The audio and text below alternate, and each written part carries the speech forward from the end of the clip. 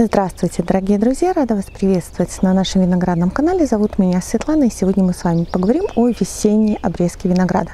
А, возможно, видео выходит э, несколько поздновато, но я надеюсь, что оно будет вам полезно. Если не на этот сезон, то на следующий. Итак, весенняя обрезка винограда. А, часто задают вопрос, если я, например, осенью не успела обрезать, можно ли сделать это весной? А, не повредит ли это винограду, потому что все мы знаем, что а, приходит весна, приходит тепло, в винограде активно начинает двигаться сок, и виноградная лоза начинает плакать. Так вот, а, до того момента, пока почки не начали распускаться, обрезать виноград можно, и вот это вот истечение пасоки, э, этого самого сока, абсолютно не вредит виноградной лозе. Если уже почки начали расти, тогда да, тогда это будет плохо, это будет э, вредить. Э, по этому поводу было проведено в свое время очень много исследований различными учеными, и именно они установили вот такую вот закономерность. Единственный случай, когда при э, спящих почках весенняя обрезка может э, навредить э, самому кусту, это если бы мы каждый день обновляли этот срез.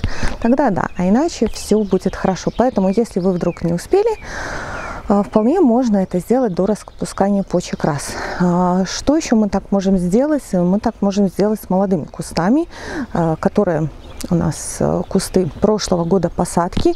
Осенью я вам рассказывала, что такие кустики я стараюсь э, по осени не обрезать. Я убираю только не вызревшую часть. Все остальное я оставляю, потому что именно в вызревшей лозе есть определенный запас питательных веществ. Если у большого куста он уже нормально накоплен, то у такого молоденького его совсем мало.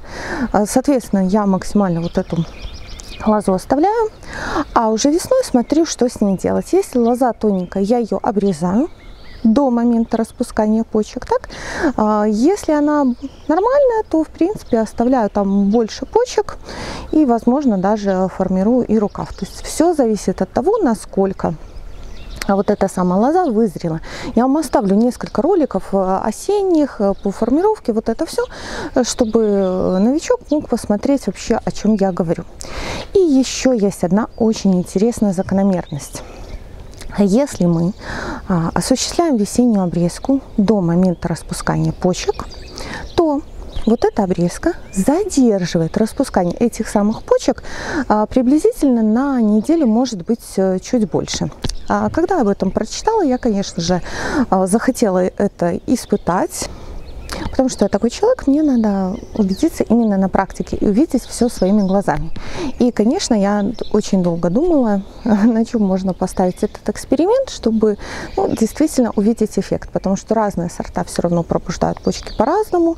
А, там, с рукавами можно было бы поиграть, но не факт, что это сработает. И, наконец, я нашла выход. Здесь у меня два малыша реформа. Ну, на самом деле, не такие уже они малыши. Я их садила а, позапрошлой осенью, но весной перенесла немножко в другое место. Так вот, а, здесь так получилось, поскольку саженцы были небольшие, я их посадила в одну яму. Смотрите, вот один, я сейчас приближу, чтобы было видно. Вот а, второй. Они на одинаковой стадии развития, приблизительно одинаково росли, плюс-минус одинаковая лоза тем более сидят рядышком, вот я решила, что на них это будет наглядно.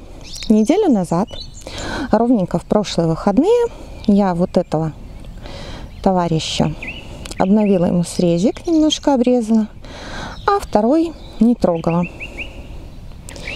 И теперь смотрим разницу. Значит, тот, который обрезан, вот он. Видите, почечки еще спят.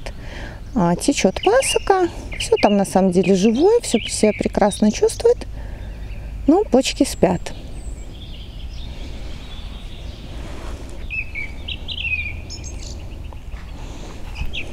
А вот тот, который не был обрезан.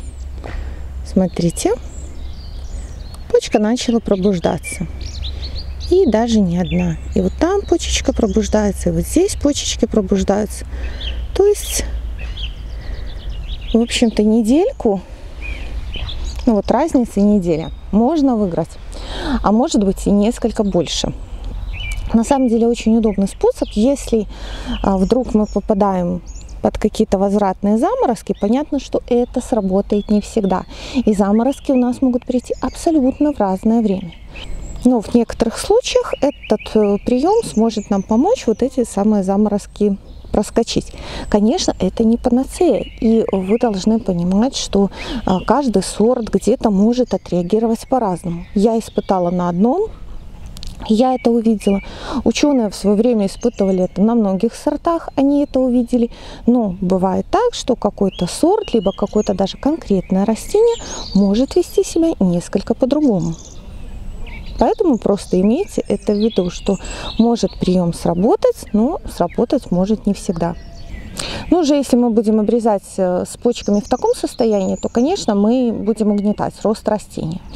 И теперь, что касается весенней обрезки. Значит, подводим итог. Резать можно, до распускания почек, если не успели э, по осени, все это вполне можно сделать.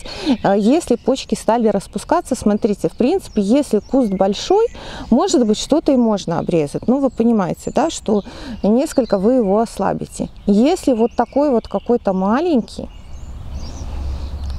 двухлеточка какая-нибудь, однолеточка, просто саженец, который слабо развивается, то лучше его не резать, просто уберете потом лишние почки.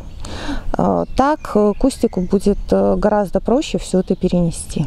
Ну, а я с вами прощаюсь. Большое вам спасибо за просмотр. Подписывайтесь, ставьте лайки, пишите комментарии. Под видео, нажав кнопку «Еще», будет ссылка на каталог наших сортов винограда, мои контакты, а также другие полезные видео. До новых встреч!